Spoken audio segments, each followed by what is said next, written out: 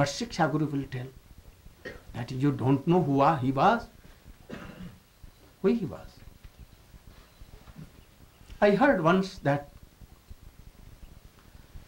uh, some are telling that uh, Swamiji has only come to give distribute friendship. That is, Sokhoros. I became at once very Furious. furious. I told that you don't know. You cannot glorify him.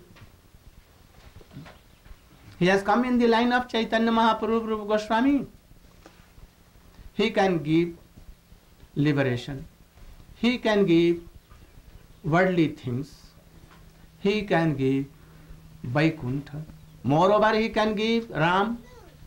Moreover, he will give. Dwarkadish, opulence so much.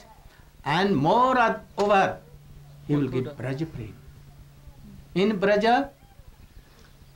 दश सख moreover and he specially came only to give that in sprinkle that Braj prem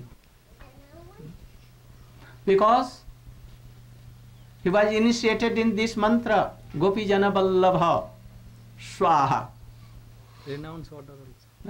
only this this is our main mantra This and Kam Gayatri. And Hare Krishna, Hare Krishna is himself Radha and Krishna. So he came to this. So if anyone can realize him who was he, then he can glorify him. Why Chaitanya Mahaprabhu came? So he came for the same mission.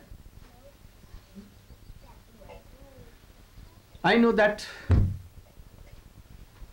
I know very little, only some dusts like. But when my devotion will go up, then I can realize my Guru Parampara in him.